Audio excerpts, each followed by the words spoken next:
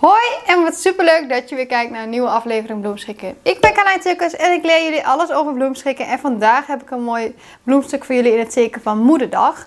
Daar gaan we straks mee aan de slag. Maar heb je er zin in? Doe alvast een duimpje omhoog. Ben je nog niet geabonneerd? Doe dat dan. Dan blijf je op de hoogte van alle video's die ik maak. Het kost helemaal niets. En alle leuke winacties. En er is op dit moment ook nog een winactie bezig. Dus wil je daar nog aan meedoen? Ga dan even naar de video hierboven. En ik zal even een ietsje neerzetten aan een van deze twee kanten.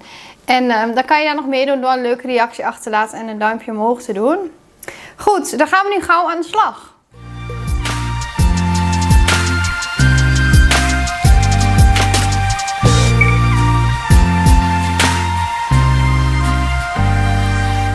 Pakket bestellen? Hieronder in de beschrijving vind je een linkje waar je het complete pakket kan bestellen. Of ga naar www.uonlinebloemisten.nl We verzenden door heel Nederland, België en Duitsland. Dus waar het naartoe moet, het komt gewoon naar je toe. Extra makkelijk in deze tijd. Van dit pakket hebben we een beperkte voorraad. Dus wil je dit pakket zelf maken, wees er dan snel bij. Want dit geldt echt op is op. Uh, dan gaan we nu gauw beginnen. Allereerst heb ik een mooie hoedendoos in de vorm van een hart. Echt heel erg leuk voor het teken van moederdag. En die gaan we eerst vullen met oase. Ik haal jullie even iets dichterbij, dan kunnen jullie precies zien wat ik doe. We vullen de bak of de box helemaal met oase. Dus je moet eventjes een beetje puzzelen met de oase. Dat hij daarna mooi gevuld is.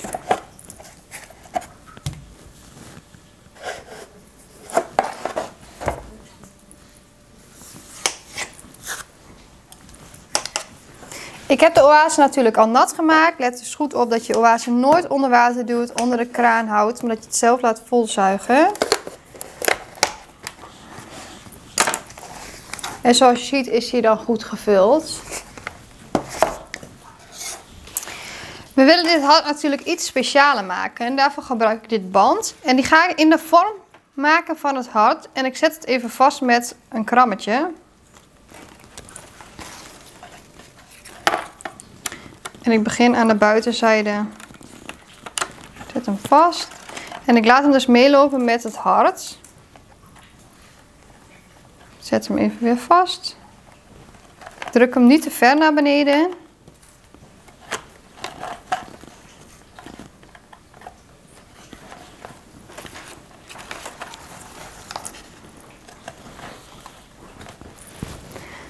En ik zet hem elke keer vast op de punten met dus een krammetje.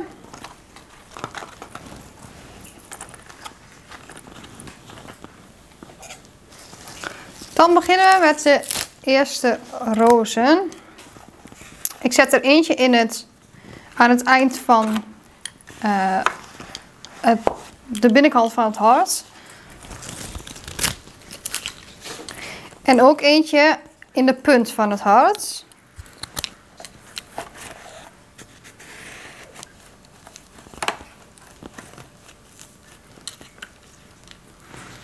En die zet ik iets naar beneden, dus iets naar de buitenzijde.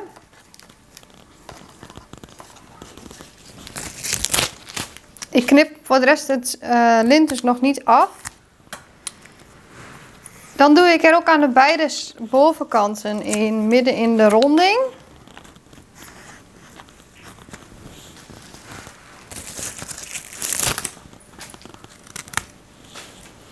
En twee aan de buitenzijde van het hart. En zo hebben we al een hele mooie verdeling. Mocht je nou het uh, lint net strak hebben gedaan, kan je dat gewoon wat losser nog doen. Je hoeft het lint dus nog niet af te knippen.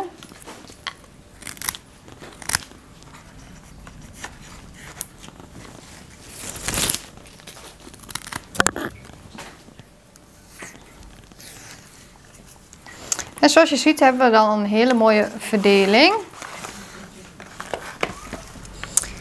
Dan zetten we daartussen distel. En die zet ik ongeveer op dezelfde hoogte.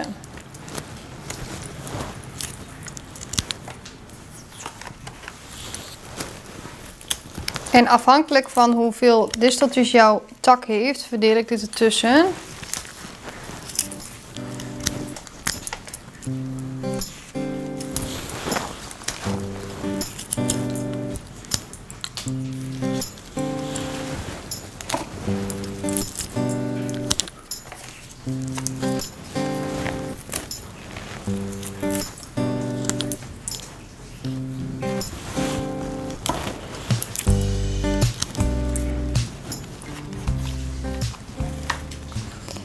En dit doe ik ook met de Lysiantes.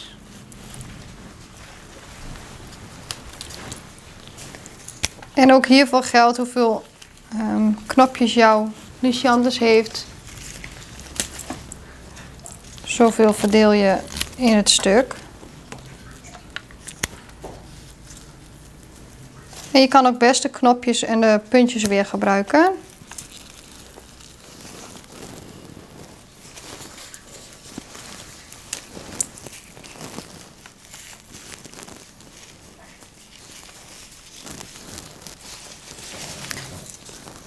Dan heb ik nog twee plekjes over waar precies mooi die roodjes qua verdeling in passen. Dus die voeg ik nog even extra toe. Maar kijk dus goed naar de verdeling en speel daarmee als dat nodig is.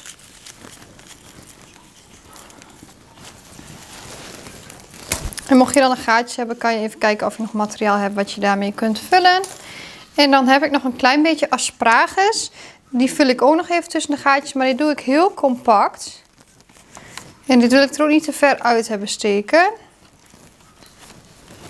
Dus ik gebruik echt die zijtakjes van de asparagus gebruik ik ertussen.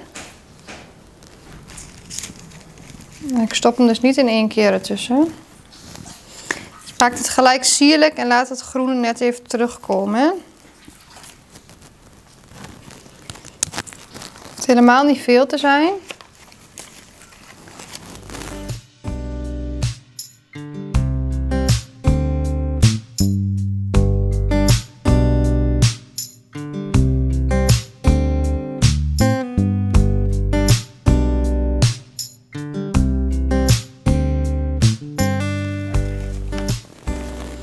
Als je dat mooi verdeeld hebt, kan je verder met het lint, uh, het band wat er dus in zit.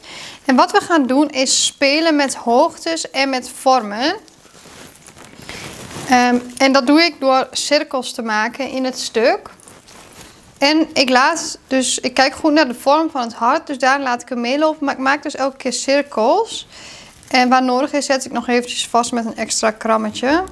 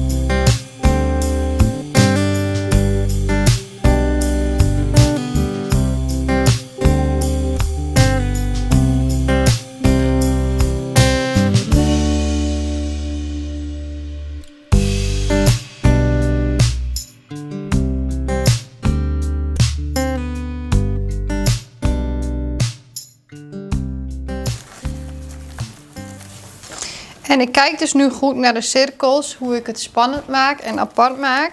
En waar ik nog graag ehm, een cirkel bij wil. Ik let ook op dat ik de bloemen niet in de verdrukking breng. Dus dat ik er echt tussen werk. En daarmee klem je het ook al een beetje vast. Maar je kan het dus nog extra vastmaken met um, een krammetje. En ik vind dit eigenlijk de laatste cirkel die dan heel mooi gevuld is. Dat hij eigenlijk mooi qua vormen is. Dus ik ga hem hier afknippen.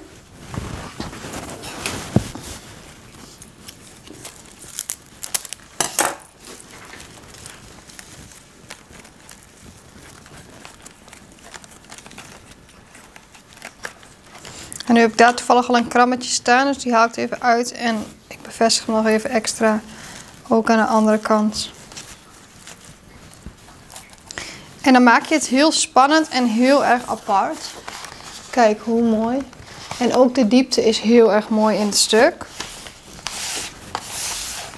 En dan hebben we echt een heel mooie moederdag gehad. En het leuke is dat je hem als box later ook weer kunt gebruiken. Dus dat je extra leuke aandacht hebt. En je maakt hem dus extra spannend door te spelen met die cirkels en de vormen. En ook het vorm van het hart. Zo laat je er extra weer terugkomen. Dus super leuk. Wil je dit pakket dus bestellen? Ga naar www.uonlineblemiss.nl. Dan vind je het onder kopje cursuspakketten. Er is dus echt een beperkte voorraad. Dus wees er snel bij. Op is op. Wie het eerste erbij is, die heeft dan geluk. En uh, wil je nog meedoen met de vorige winactie? Ga dan eventjes naar het i'tje hierboven. Ik wil jullie bedanken voor het kijken. Ik hoop dat jullie het weer een leuke les vonden. En dat je het leuk vond te zien hoe je eigenlijk zo'n simpel bloemstuk heel apart kan maken. Um, het is dus echt belangrijk dat je speelt met materialen en speelt met vormen en bloemen. En dat kun je in dit bloemstuk heel erg goed zien. Ik wil jullie bedanken voor het kijken en ik zie jullie de volgende keer weer. Doeg!